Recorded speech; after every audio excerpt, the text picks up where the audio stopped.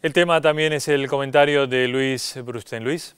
Bueno, es un tema verdaderamente muy interesante que se abre, a distintos niveles, pero yo creo que es importante eh, que se discuta, separar de esta discusión el tema electoralista y que se discuta en el marco de políticas de inclusión en ampliación y ampliación de derechos. Eh, hay una, cuenta que sin necesidad de ser Adrián Paenza se puede hacer para reafirmar esta idea. Hay unos 28 y 30 millones de personas en, condiciones de votar en la Argentina, eh, de los cuales votan normalmente eh, un, un 70-80%, que serían 24 millones de electores.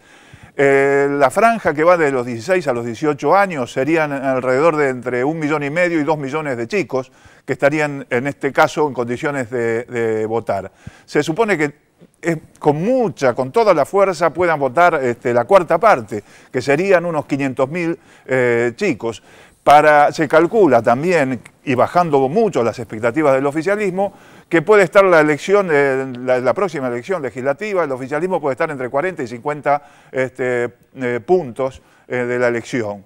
Esto quiere decir que el oficialismo tendría que ganar de, esos 500.000, si sacas 250.000 votos, que es una barbaridad, entre esos 500.000 chicos que podrían llegar a votar, no le agregaría ni le sacaría un solo punto. Recién estaría ganando un punto y fracción si los 500.000 chicos, de todos al mismo tiempo, votan eh, por, la, por, la, lista eh, del gobierno.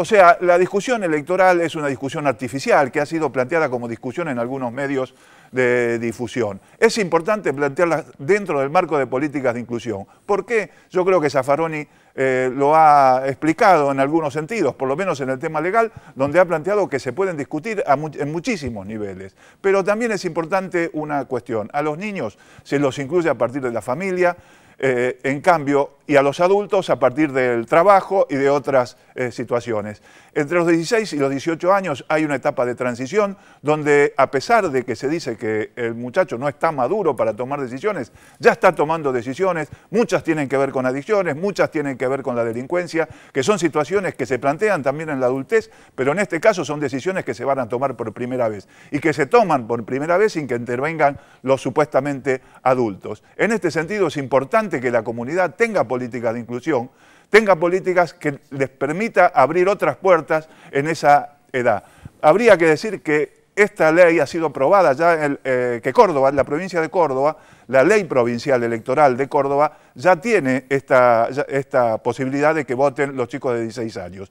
El mismo gobernador ha dicho que son muy pocos los que votan hasta ahora. Sin embargo, es importante que la comunidad abra esta puerta, que tenga esta posibilidad de inclusión entre los chicos que militan, que es un porcentaje muy chiquito, muy pequeño eh, a esa edad, es muy difícil que se encuentren chicos o que estén en la delincuencia o que estén en adicciones.